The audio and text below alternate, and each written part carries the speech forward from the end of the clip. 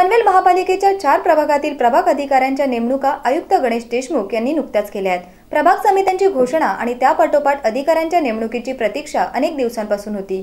अलीकडे चार प्रभाग समित्यांची घोषणा करण्यात आली होती. त्या पाठोपाठ आता प्रभाग अधिकाऱ्यांचीही घोषणा झाल्यामुळे नागरिकांची कामे वेगाने होतील तसेच महापालिका प्रशासनाचा कारभार अधिक सुरळीत होणार आहे.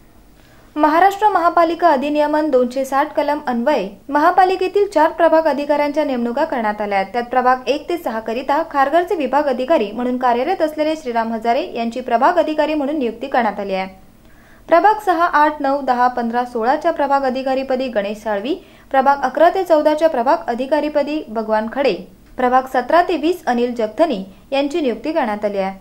पनवेल महापालिकेच्या प्रभागांची घोषणा एक वर्ष झाल्यानंतर झाली होती. त्यानंतर दीड वर्षानंतर प्रभाग अधिकाऱ्यांची नियुक्ती करण्यात आली आहे. या नियुक्त्यांचे लोकप्रतिनिधी तसेच नागरिकांनी स्वागत केले आहे